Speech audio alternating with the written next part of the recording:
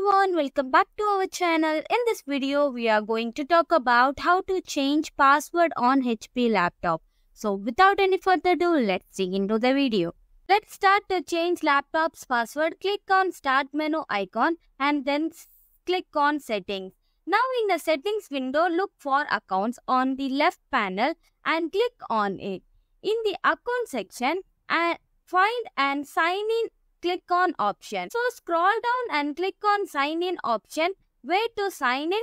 Click on password. Now you will see the change button under the password section. Click on it to begin the password change process. So click on change in this window. You will see new to provide your current password and click on next. Here enter your new password twice for confirmation and add some password hint. Now click on next button to finalize the password change. Click on next and click on finish that your that your password have successfully changed.